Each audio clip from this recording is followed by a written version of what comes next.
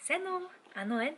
Хүмүүс надаас өмнө асууж исэн яаж ном хурдан уншдаг юм бэ гэхэд энэ он гарснаас хойш би алхидын 12 дахь номон дээр явж байгаа. Тэгэхээр ном юм хурдан унших бол нууцлал миний хувьд аудио ном байдаг. Өөрөөр хэлбэл одоо номын агуулгыг өөр жүжигчин ч юм уу бас нараторууд хүүрнэн одоо уншдаг хүмүүс бол уншаад хадгалсан юм. Аудио ихээр сонсох. Тэгэхээр өндөр хэдүүлээ богинохон видеог бол аудио бук болгож хуургаж үзье. Яг одоо надаа Brené Brown-ing I thought it was just me гэдэг юм богинохон нэг цаг гарны урттай ном бол байна. Тэгэхээр надад байгаа их нь бол MP3 өртгөлтэй байгааг бол харж байна. Тэгэхээр MP3-ыг файла iTunes руу эхлэж ирээд тэгэхээр өөрөө MP3 өртгөлтэй учраас энэ audiobooks гэсэн хэсэг рүү орохгүй дана шүү. Music руу нь бол ороод ирэх байхаа гэж бодож байна. За хуулцсан хаана вэ?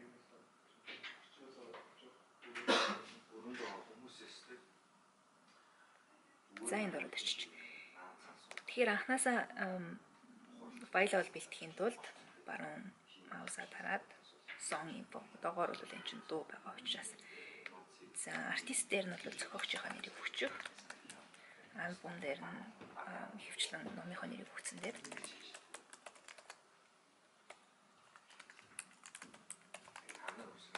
It's just.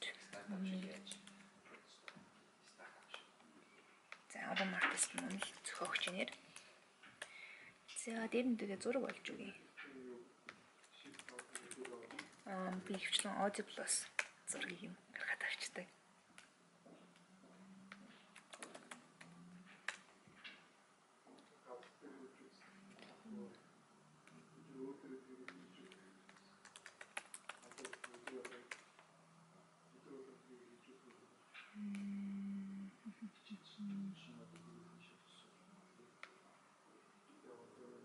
Зүүн зургийн тусад нь нээж үзье. Арай том ихэр гараад ирнэ.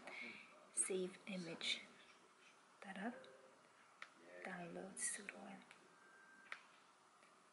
Зүгээр задгаа хурчих. За буцаад Үгүй but it isn't.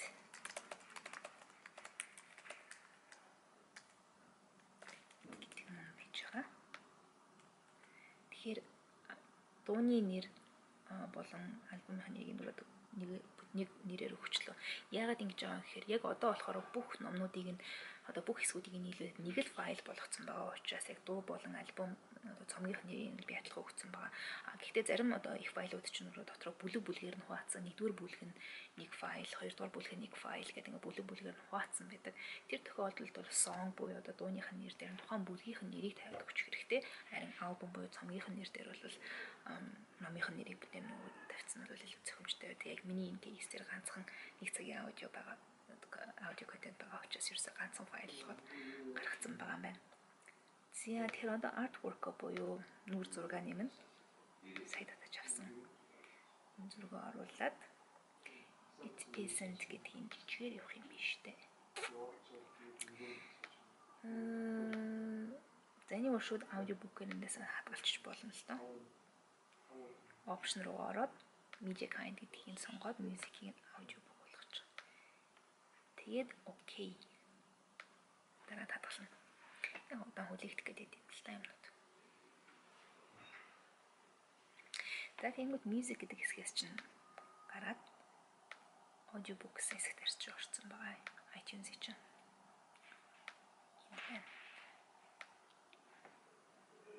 Тэгээ аудиобук чинь ингээ бэлэн болсон байгаа үед 10 цагийн файл байсан байж нэг. Тэгэхээр аудиобук чинь ингээ бэлэн болсон байгаа юм чинь iPhone iTunes руу холбоод энэ дээрээсээ утас руу агуулчихна гэсэн. Утас нэр чинь болохоор Books гэдэг нэртэй аппликейшн байгаа. За утас ч ороод ирчлээ. Энэ дээр did audiobook гэсэн хэсэг ороод ямар номуудыг хуулах вэ?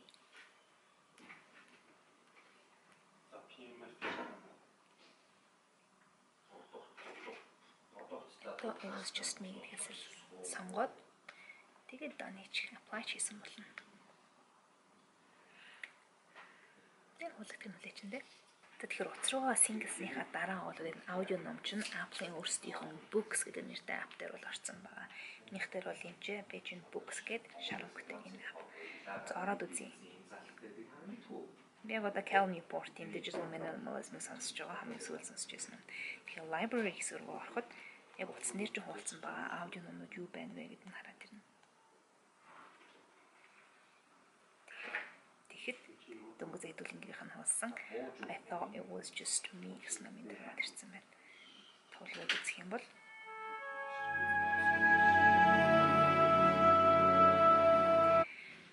ингээд тоглогдчихно гэсэн. Тэгэхээр чихвчээ зүгээд аудио номоос сонсороо урт файлуудыг бүгс файл бол тоглох боломжтой. Хамгийн сүүлд сонсч ирсэн хэсэг дээрээс нь өөрчлөлт сонсож авчихна гэсэн. Тийм учраас хаана явж исэн бэ гэдэг газраа бол алдахгүй. Тэгэхээр iPhone дээр хэрвээ та нар аудиобук сонсё гэсэн их файл чи хэрвээ та нарт өрсөж байгаа бол ингээд өөрсдөө Apple өөрсдийнх нь Books app-ыг ингээд ашиглаж боломжтой. А хэрвээ та нар өөр Audible-оос ч юм уу авцсан гэж бодож байгаа бол Audible-ийн өөрийнх нь applications байдаг. Өөрсдийнх нь уусар том сангаас бол аудио номыг худалдан авч татаж сонсох боломжтой. Kindle-ийн бас нэг дэд бүтээгдэхүүн байгаа. Тэгэхээр нэг бол Books-ийг зөвлөж байна. Эсвэл Audible-ийг бол зөвлөж байна хэрвээ Audible дээр бол та нар файлаа өөрсдөө ингэж бэлдээд авах шаардлага байхгүй. Шууд файлыг та нарт одоо cloud-аар дамжуулаад төхөөрөмж дээр ч юм бол хуваалцдаг. За Байгаа аудио номуудаа хэрхэн бэлтгэдэг та нартай энэ видеогоор хуваалцлаа. Тэгэхээр үүнтэй холбоотой аудио номтой холбоотой өөр асуултууд байх юм бол энэ видеоны доор та нар комментээр бас үлдээгээрэй. Би аль болох таны комментуудад бүгдэд чинь хариулгыг хичээх болно. За цаашлаад iPhone ч юм уу бас MacBook иймэрхүү хэрэглээний захиргааны хамт төхөөрөмжтэй холбоотой бас өөр ямар видеонууд хийлгэмээр байна. Тиймэрхүү санаануудаа ч гэсэндээ доор комментээр үлдээгээрэй. Мөн энэ видео таалагдсан бол лайк дарахаа мартав. Тэгээ subscribe хийгээгүй бол доор subscribe гэдэг товчон дээр дарж дараараа хэрвээ хонхыг нэрээр дарчих юм бол шинэ видео орох болгон танарт notification буюу мэдээлэлээр очих болно. Тэгэхээр тэгж намайг дэмжээрэй. Хэрвээ энэ видео бас өөр хүн таалагдана гэж бодож байгаа бол холбоосыг найз нөхөд бас хэрэгтэй хүмүүст нас түгээгээрэй гэж хүсмээр байна. Тэгэхээр дараагийн видео хоёр гээд уулзлаа. Тэр баяртай байна.